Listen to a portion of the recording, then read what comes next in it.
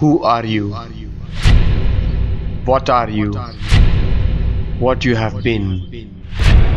Are those you call our emotions? Is happiness leading you? Or sadness drowning you? Is anger leading you to something that its after effects will make you feel guilt?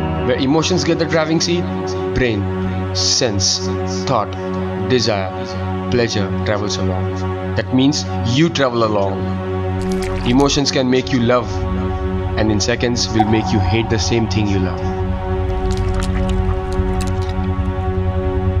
It has always been about confinement. Flow of control can lead you to success or would end you up in harsh overthinking. Don't let your emotions control you. Take charge and be yourself.